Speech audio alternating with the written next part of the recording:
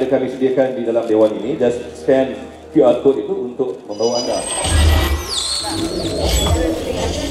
About the concept of bubble tourism, which you had mentioned um, in July and August. Um, how feasible is this concept? And uh, I know uh, uh, you had mentioned that uh, some rundingan and all were going on. Yeah, But okay. which country has come forward as a stepping stone to make this a reality? Because many countries are still afraid and the borders are, re- are shut. Mhm, So yeah. how, I just want to know how viable is this concept at, at a time where the economy is, uh, is at a very bad place and people are not earning as what they used to. So wh- Yeah. where are we with that? Yeah, I think uh, talking about uh, travel bubbles, we have been we have been working on it since I think uh, for the past uh, one or two months.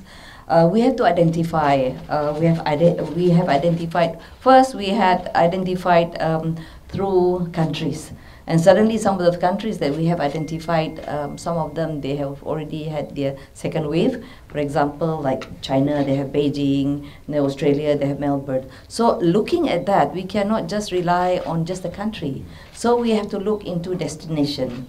That was the second time. I mean, the second kind of um, identification that we have been looking into the the characters characteristic of what we were looking into for travel bubbles.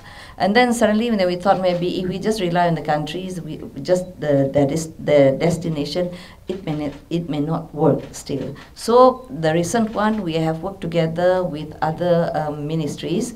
Um, apart, I mean, from, from MOTAC, we work together with MOH. We also work with Wisma Putra. We work with um, um, uh, KDN, uh, Home Affairs, and um, um, MKN. Uh, MKN.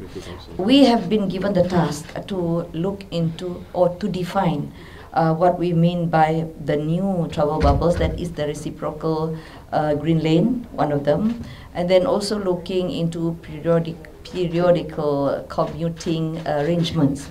And this one is very this has uh, this is very close to us. That is Singapore.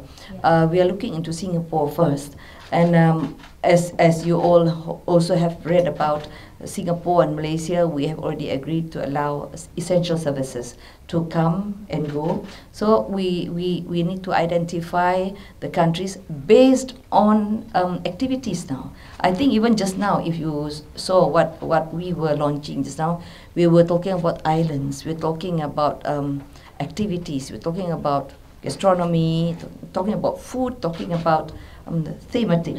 Yeah, so it, it, this is uh, this is considered as uh, the summary of everything. But this is related to what we have been identifying. So um, the the green bubbles that we are looking about um, needs to be um, monitored as well.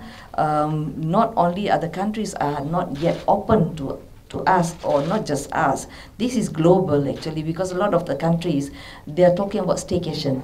They want to um, keep their people safe and they want their people to spend their money in the country. It's also domestic tourism. So in the case of malaysia we are also looking at the same thing. We, we want to be safe.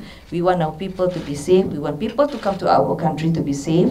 And uh, but of course at the same time we need to look forward to make sure the economy is growing. And now MOTAC has been tasked by the government, uh, by all the other uh, ministries, to put forward our proposals with our SOPs once we are ready. So um, it, it should be ready within the latest maybe next week for us to propose to the um, the Security Council, Majlis NIC. ada uh, majlis the majlis keselamatan uh, um, MKN. yeah, so uh, that is the status for the moment. Okay, thank you.